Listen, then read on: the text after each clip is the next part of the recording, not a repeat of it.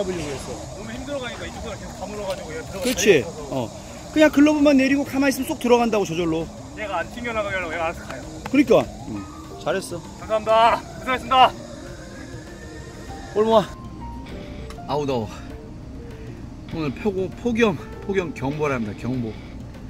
아 오늘 한성대랑 시합 연습 게임 있는데 그 앞전에 한 2시간 동안 펑크 쳐주러 왔습니다.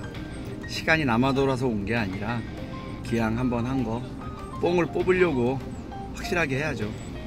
2시간 치고 나서 얻은 득템 폴라포. 아우 맛있어.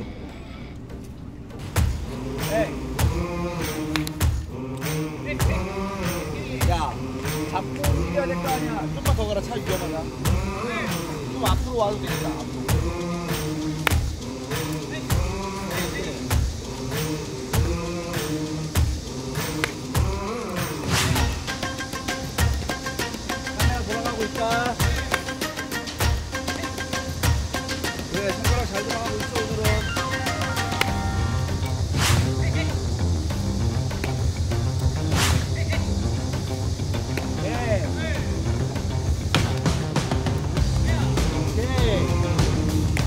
이. 이처럼 가슴에 먼저 안아야 돼.